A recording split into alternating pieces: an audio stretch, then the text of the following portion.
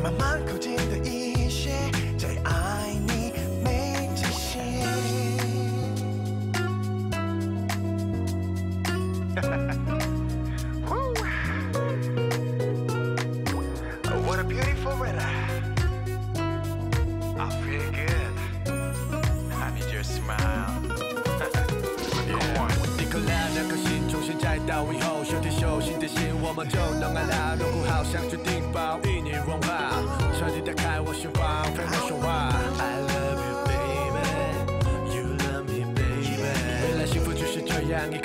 颗来的梦想，爱你爱我就在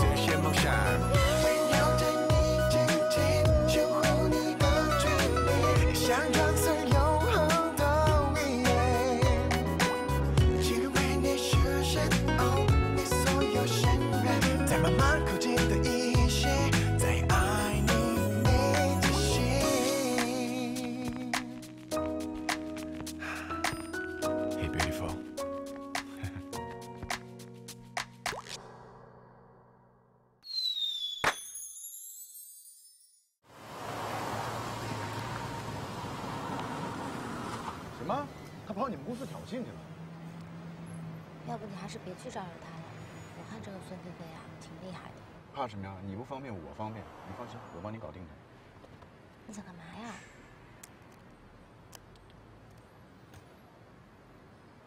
哎喂，你好，呃，是孙小姐吗？我是刮到你车的那个雷先生啊，我想跟你聊一下关于索赔的事儿。你明天有空吗？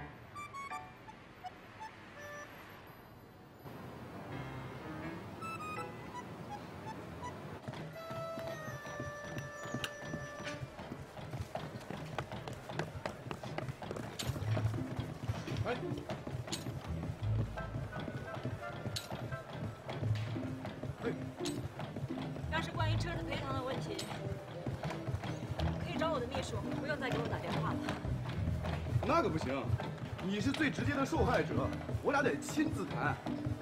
再说了，这个事儿，我感觉我对你非常非常的愧疚。哎，要不然我俩一起吃个饭吧？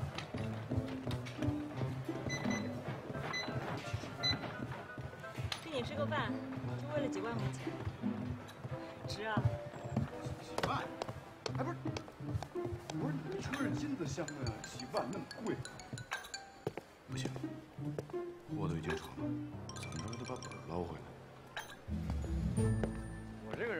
不喜欢推荐人，要不然你把你助理的名片给我，我回头让我助理把钱给你打过去。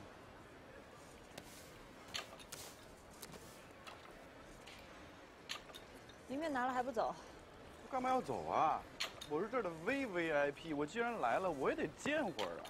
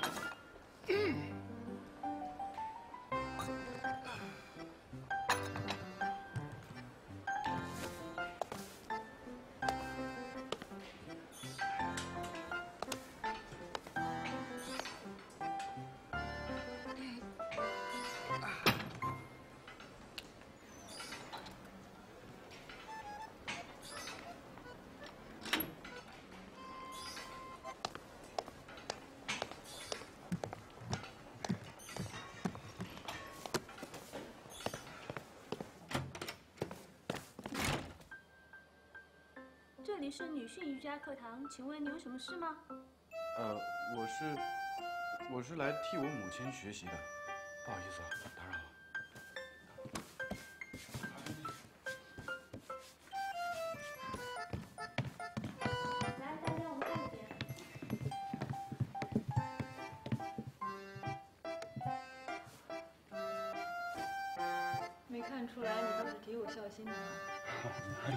其实我的家人本来就非常崇尚运动，在这一点上，我们还挺有缘的。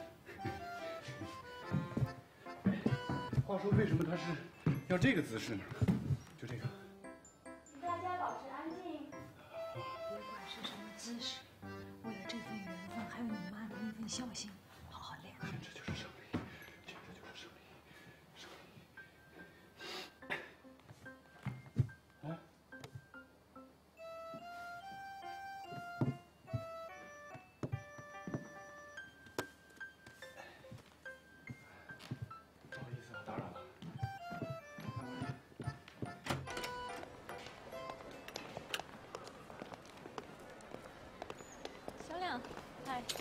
孙小姐，这是你落在我们公司的文件。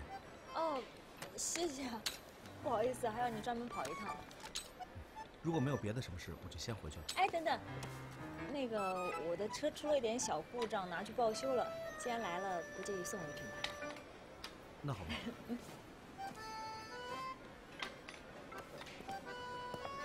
你就往下加，哎，对，是这个。你怎么在这儿？呃，我来这儿健身啊。哦，对了，这是我朋友，我给你介绍一下。哎，哥们，你贵姓？哎，你们认识？呃，我我们以前见过几面，是吧？见过几面，是不是？这是我跟米朵的朋友雷一鸣。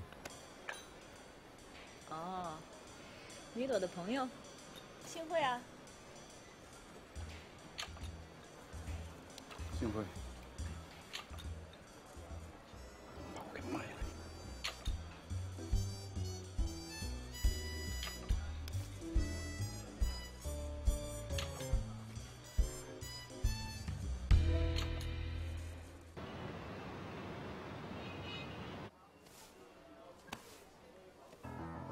这么说，你是为了米朵才接近孙菲菲？我怎么可能为了米朵呢？哥们儿是为了你为了我？啊！那当然了，你想啊，我只有去勾引这个孙菲菲，才有可能让她不再纠缠你，还你一片安宁。当然了，我也顺便可以帮米朵铲除一个潜在的情敌嘛，是不是？你不会真的认为我跟孙菲菲有什么关系吧？我知道你俩没关系，但是，但是不是这个孙小姐想跟你有关系吗？所以你又必须要防患于未然，把这种第三者插足的可能彻底扼杀在摇篮里，明白吗？嗯，我告诉你，你看错了。孙小姐对我真的一点意思也没有。你知道我是干什么的吗？啊？我是个医生，而且还是个妇产科医生。我不光对女人的身体了解，我对女人的思想也很了解，尤其是在爱情方面，任何一个细节都逃不过我这双慧眼，知道吗？所以啊，那天孙菲菲看你那个眼神就很有问题。以我六十年的经验，我敢向你打包票，她绝对喜欢你。你好好想想，她当时的那个眼神，瞅瞅瞅，她的眼神。现在你终于明白了吧？为什么米朵会心虚？一个女人如果真心的爱你，那她就会心甘情愿的为你吃醋。信任不是唯一检验爱情的标准，嫉妒才是。你自己好好想想吧。记得你在韩国跟我说的话啊，连我那一份，照顾好米朵。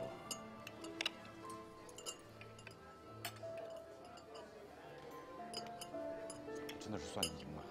我这份你也吃了吧，我来不及了，上班去了。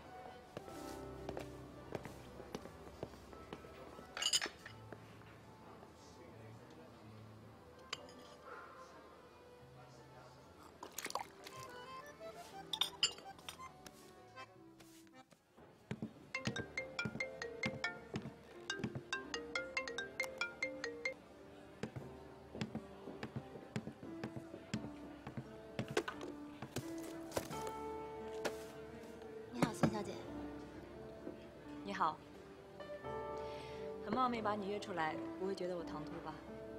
当然不会。既然你跟肖亮是合作关系，那也算得上是我们的共同朋友。朋友出来见面，怎么能算是冒昧呢？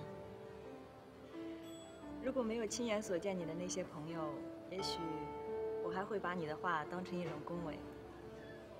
米小姐，派人跟踪我，好玩吗？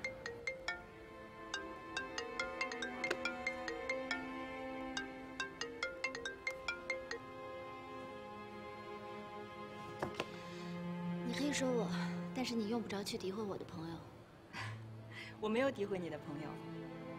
就算我对肖亮没有意思，你用这种方式挑衅我，我也不能辜负了你。也许不久的将来，肖亮会成为我的男朋友。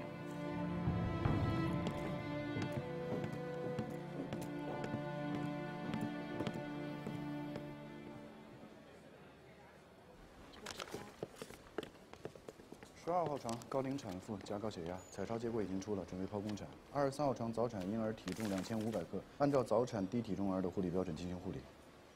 可是我们人手紧张，能不能？不能。我知道两千五百克是临界标准，但是早产儿机能比较差，不能掉以轻心。我们的工作不仅要追求完成，还要追求完美。怎么了？这种带有方医生特色的话，从您雷医生嘴里说出来，特别有个人魅力。方医生，哎今天的快递，哦谢谢啊。这都三天了，您朋友啊真有心。哦，您这朋友啊也挺有趣的，他说送快递的必须是个帅小伙，所以我就来了。你挺符合标准的，辛苦了啊。谢谢啊。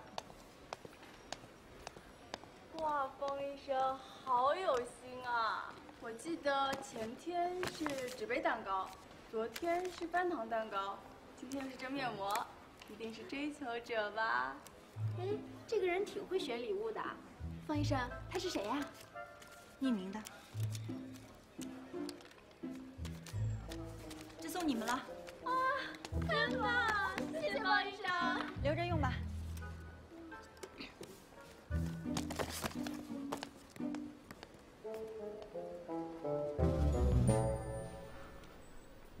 就他看着卡片的眼神，我敢拿六十年恋爱经验打包票，他有情况。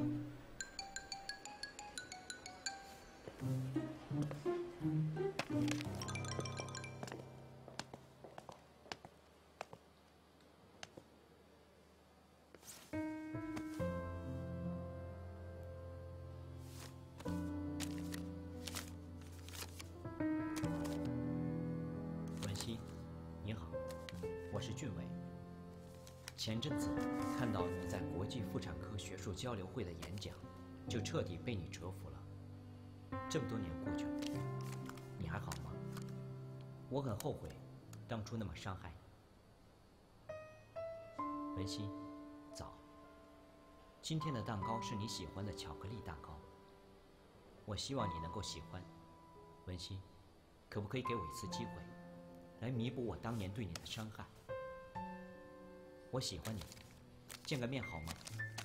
爱你的俊伟。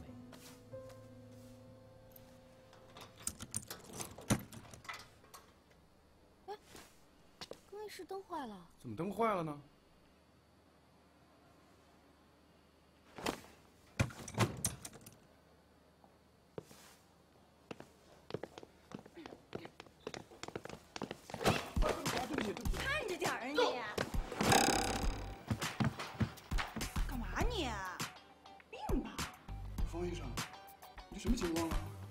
这身打扮啊？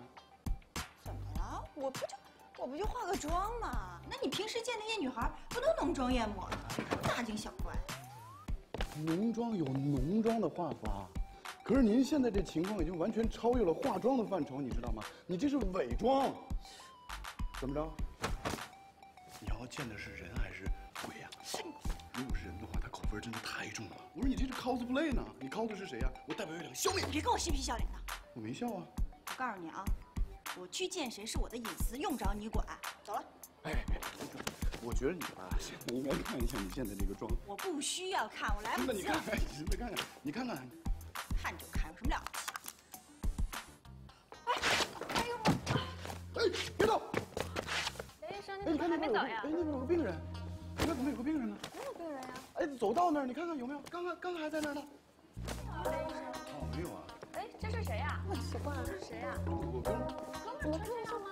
我哥们儿就好这口，喜欢穿个裙子什么的。雷医生，你好奇怪，不会是女朋友吧？什么女朋友，顶多也就是男朋友。来，快点忙去，快去。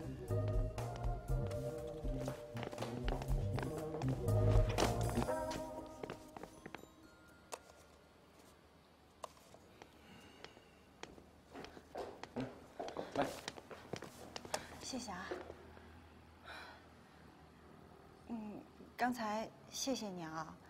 嗯，要让他们看见我刚才那个样子，我真不知道该怎么回科室工作了。哎，我今天这个样子，你不好奇吗？为什么你都不问我呀？那行，那既然方医生都那么坦诚了，那我就有话直说了。其实今天呢，本来你要去见一个非常重要的人，想让他看到你最好的一面，可是没想到化妆化到一半，突然灯灭了，于是就把这妆给化蒙了，对不对？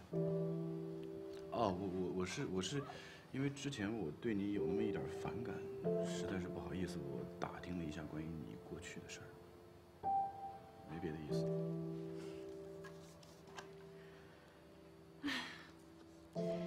其实上大学那会儿吧，我挺自闭的，也不爱交朋友，所以那些男孩自然也不会喜欢我。可是直到上大三那年，我忽然就喜欢上了一个男生，他是跟我同级同系的，个子高高的，白白的，而且学习成绩也特别好。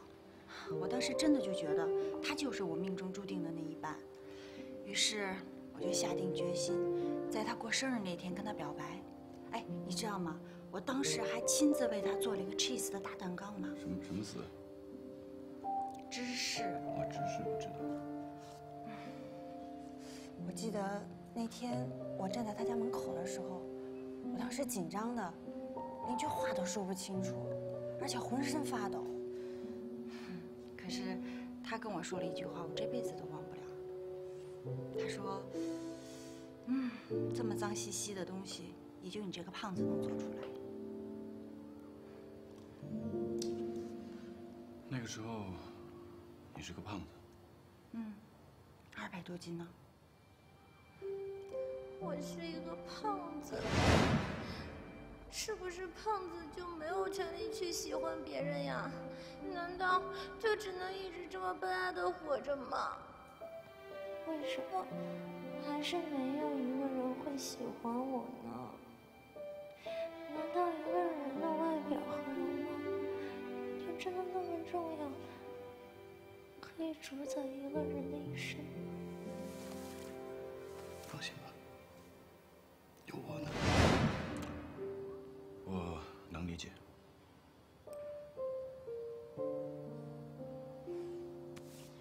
谢谢。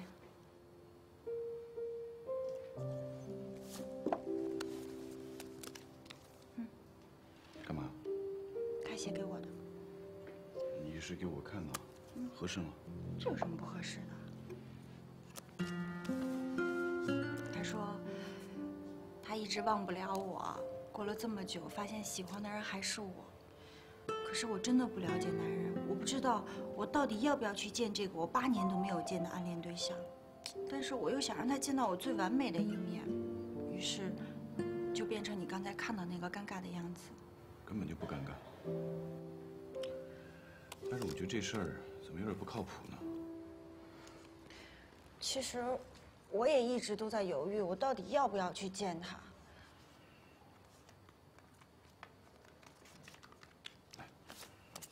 李医生，你帮我个忙吧。啊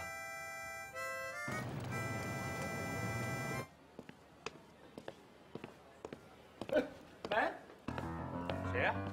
走错了吧？没错，你不就是高俊伟高先生吗？我是方文熙的现任男朋友。现任男朋友，方文熙不是一直都是单身吗？怎么了？我俩谈个恋爱还要上新闻啊？嗯？方文熙是个很谨慎的人，这点你应该知道。能让我知道那么隐私的事儿，比如说今天来见你，就说明这事儿不会有假，是不是？看来文熙现在找男朋友的眼光真的是……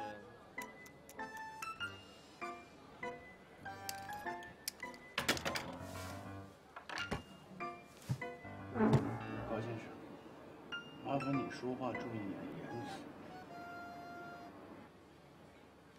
哎，不过话说回来，我跟他在一块儿，也是因为我那个局长老爸非得撮合。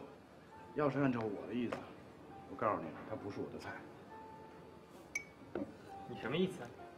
我就想跟你聊一聊，咱们可以谈谈条件。我身边女的多着是，不缺她这一个，我可以随时让给你，但是那我凭什么要相信你呢？哦，我想起来了，哎，这个是你写给他的吧？有回复，他的字儿你应该认识吧？俊伟，我有男朋友了，过去的一切就让它过去吧。如果你真的喜欢他，没关系，我可以帮你。像他那样只会工作的傻妞吧，我可以有办法让他能够乖乖的跟你走。但是条件，咱得谈。先生贵姓？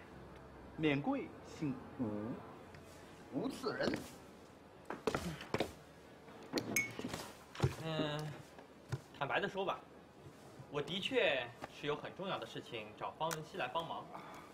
两年前呢，我拿到了美国的工作签证，但是呢，我的绿卡一直没有拿下来。你也知道，现在美国的签证已经越来越难弄了。这件事情对于我来说呢，的确非常紧急。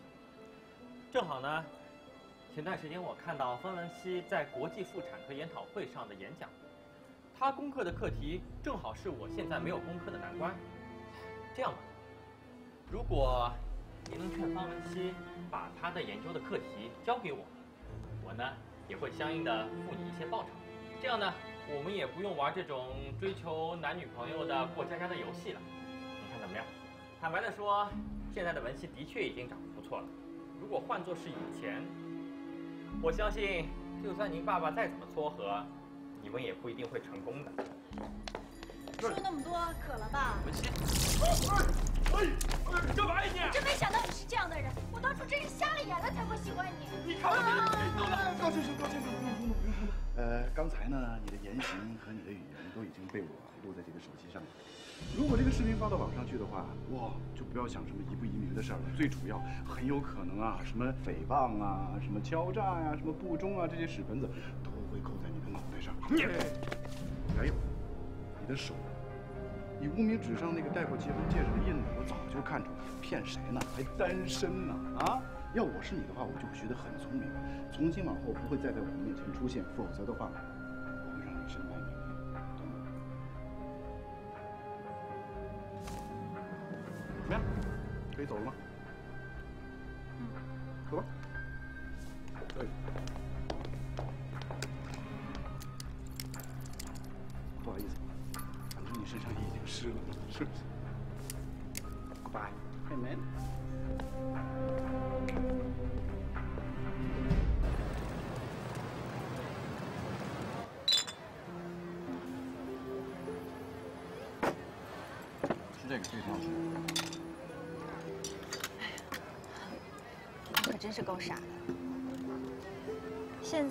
天真的相信什么爱情？真爱肯定是有的，只不过不在刚刚的那个禽兽身上。哎，你是怎么发现他从一开始就是在骗我啊？我来跟你分析一下这个事儿。如果一个男人真心爱一个女人，他肯定会对这个女人的一举一动都非常关心。你们之间不是有同学群吗？他要知道你的事，那不很简单吗？而且你这些年一直在借甜食，他还天天给你送蛋糕，很明显嘛，之前他根本就没有关注你，他现在对你是临时抱佛脚。你说一个能够利用女人感情去达到自己不可告人目的的男人，那不是衣冠禽兽是什么？看来我是真是太不了解男人了。还有，我刚刚看到他左手无名指上有一个戴着戒指的印，这很明显嘛，就是见你之前刚摘下的，为你摘下的。哎，没想到我轻轻这么一套，他就上钩了，bingo！李医生，我发现这方面你很在行啊。开玩笑，我情圣啊。是禽兽吧？有些原则上的问题你不能瞎说啊。谁禽兽？你说清楚。他禽兽，行吗？他禽兽，跟你开玩笑的。不管怎么说，今天我真的要谢谢你。还有，呃，我为我之前对你的态度跟你道歉。接受。嗨，雷一鸣。哎呦，来，我给你介绍一下啊，这就是我老跟你说起来的我的发小米朵。来，米朵，这是方文熙医生。哦，你就是那个古墓派的小龙女，就是把你治的服服帖帖那个。哎，你不能哪壶不开提哪壶啊。你好，你好，你好。你好 那什么，你们别干站着，来来来，赶紧坐下。来，我去给你们亲自烤个串，怎么样？我跟你说啊，今天你们有口福了啊！等着我。我的酒给我。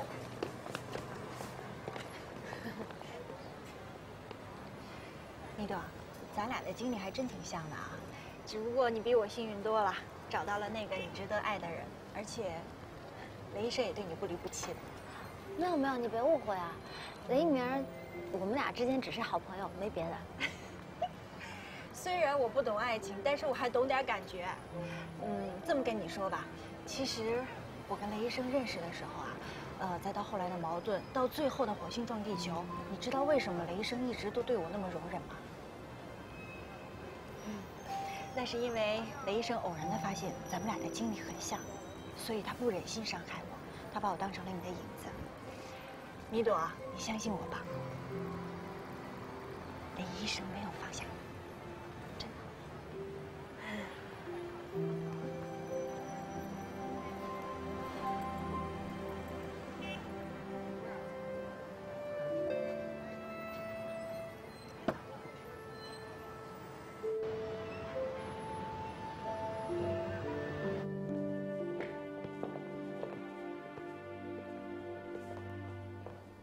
你不是约了蓝色火焰的负责人吗？怎么只有你？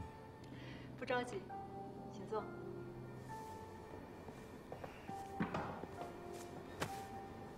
从明天开始，我们就要对你们公司注资了，好几十亿的项目，难道不能拿出一顿饭的时间来吗？那就要看这顿饭的时间是跟谁吃，为什么吃。如果是客户，我当然非常荣幸；但如果是想用钱来买我时间的女人，那她现在就可以死心。你什么意思？你借着项目约我，又包下整个餐厅，跟你在酒吧里对我做的事情有区别吗？孙菲菲，我建议你最好立刻终止这个项目，因为我绝对不会对你有感觉，别浪费时间了。那你跟米朵难道就不是在浪费时间吗？小两，我们这个圈子是有规则的，就算王子选择了灰姑娘，灰姑娘也不一定会变成公主，说不定还会害王子失去整个。那与其这样，为什么王子不在一开始就选择有同样出身的公主呢？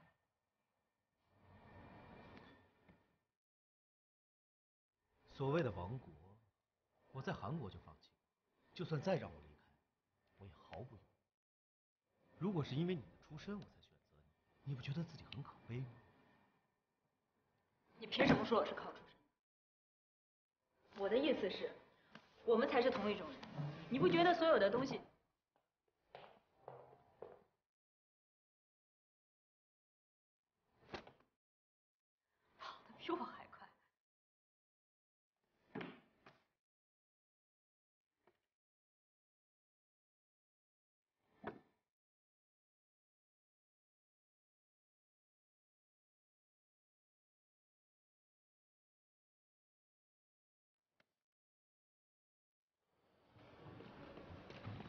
董事长，肖总，不好了，孙总那边突然决定对我们撤资了。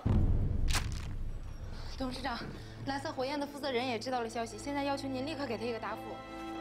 小亮，这是怎么回事啊？你们先出去。他们刚才说的是真的吗？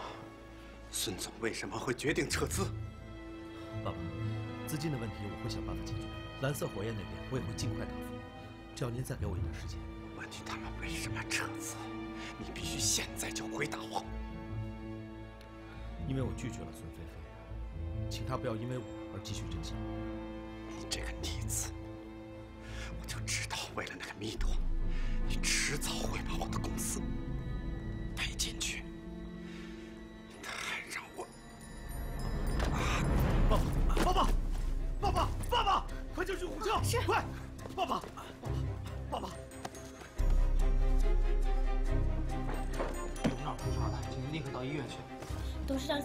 没时间解释了，路上再说吧。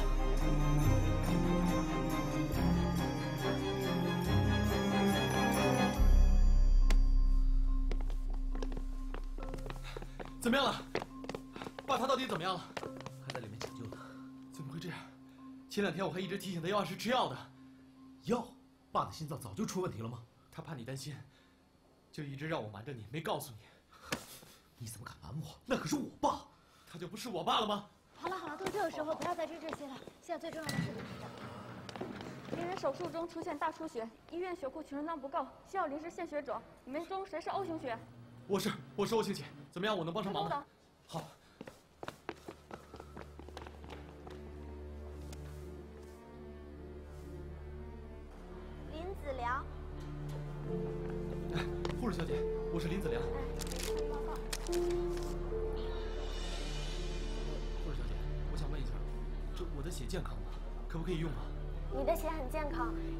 病人做了交叉配血实验，适合给病人做备用血液。不过按照规定，我们还是得询问一下您和病人之间的关系。我是他的儿子。啊？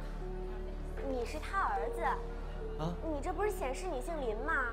你怎么不早说呀？直系血亲之间是不可以献血的。不过我这鉴定里边，病人是 AB 型血，怎么你会是 O 型血呢？病人怎么会有一个 O 型血的儿子？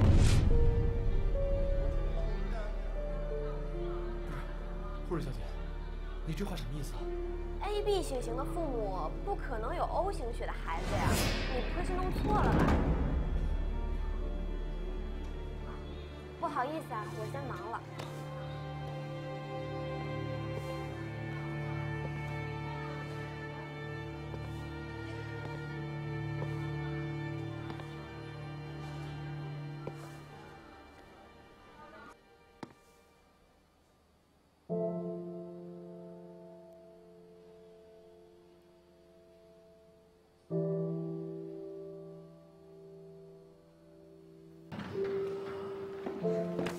医生，我爸怎么样了？手术进行的很成功，不过病人目前的情况还不够稳定，还请你们安心的等待。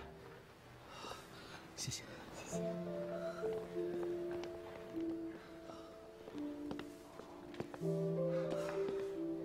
既然现在手术已经成功了，证明董事长已经平安无事，你不要再担心了。都怪我之前太草率，如果不是我得罪孙菲菲的父亲，也不会害我爸受到这么大刺激。肖总，公司已经知道董事长做手术的事儿了，现在公司全都乱套了，几个大股东等着您开会呢，沈总让你立刻回去。季宇，我要留在医院等我爸醒来，其他的事情以后再肖总，沈总那边已经顶不住了，现在的问题只有您才能解决。您就算是为了董事长，你也得先把公司给稳住啊。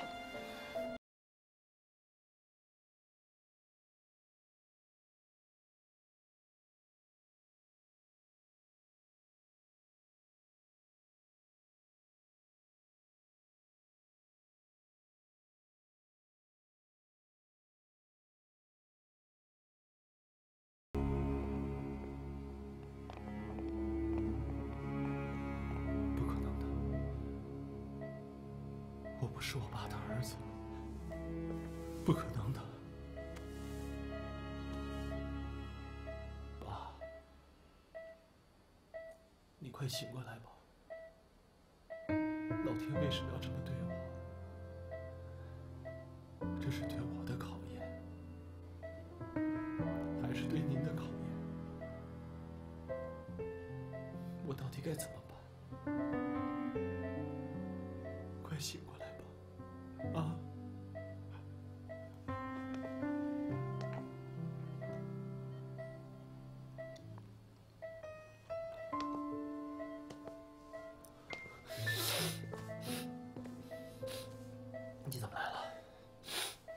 说他要回公司处理一些事情，嗯，等一下他就会回来。呃，那什么，饿了吧？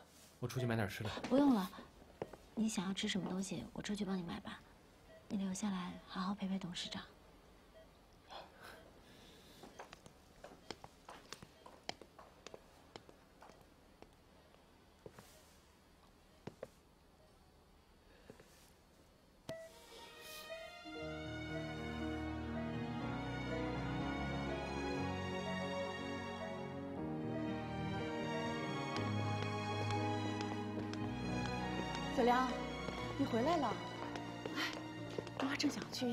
爸呢。你爸怎么样了？他醒过来没有呀？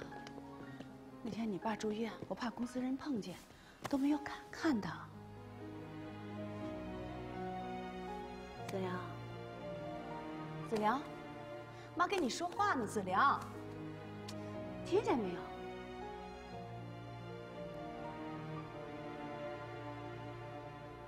子良，你爸爸出什么事儿了？没事儿，蜜都已经找人给他治疗了。他怎么在那儿啊？我得赶紧去医院。妈，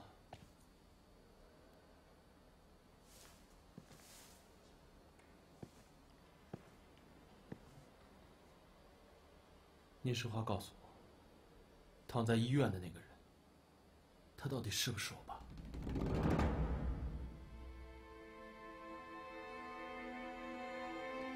你怎么突然问这个？不是你爸，那是谁？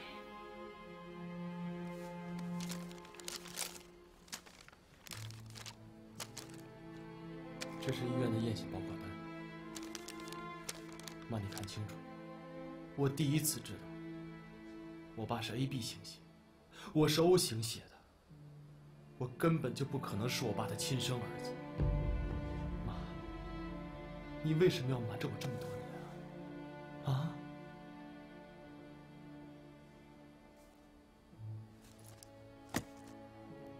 儿子，你听妈解释，你的亲生爸爸什么都没有。如果我们俩跟了他，我们这辈子就全毁了，全毁了。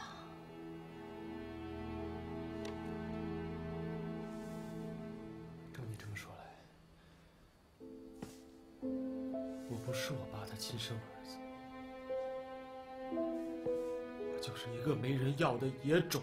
儿子，你不能这么说。妈辛辛苦苦瞒着这么多人，就是要给你个堂堂正正的身份。别人说咱不管，你可不能这么想啊！堂堂正正的身份，我活在这个家这么长时间，有一天是活得堂堂正正的吗？以前我爸他不认我，我们俩就像佣人一样在这生活着，生怕有一天被赶出去。现在，现在他认我，我好不容易有一个爸，有一个像样的家，但是结果呢，就是个野种，是个没人要的野种。不，儿子，你不是野种，你是妈的心头肉，你是妈的心头肉。要怪就怪妈没用，妈让你受了这么多年的苦，儿子。曾经引以为傲的家，原来没有一样东西是我的。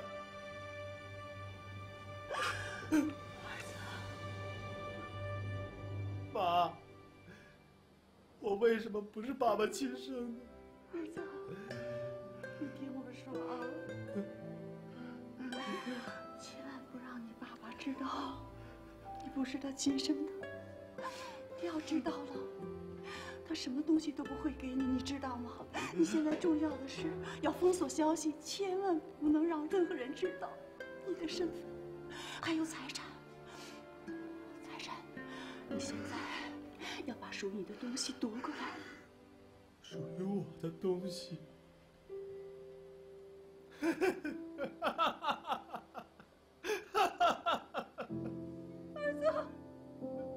为什么一定要我做个坏人？儿子，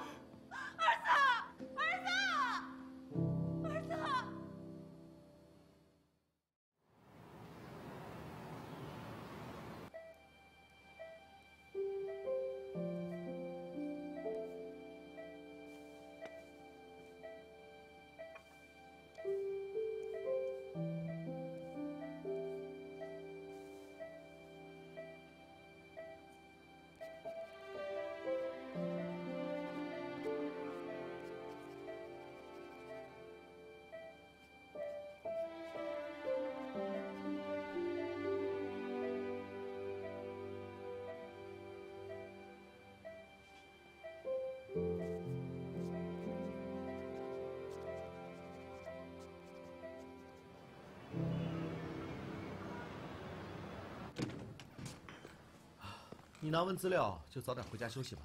昨天晚上你都陪我爸一夜了。不了，等一下我还是得去趟医院的，在那儿反正也可以睡。米朵，这几天辛苦你了，我公司有一堆事情走不开。我知道，你放心，可以帮上你的忙呢，我心里也特别的开心。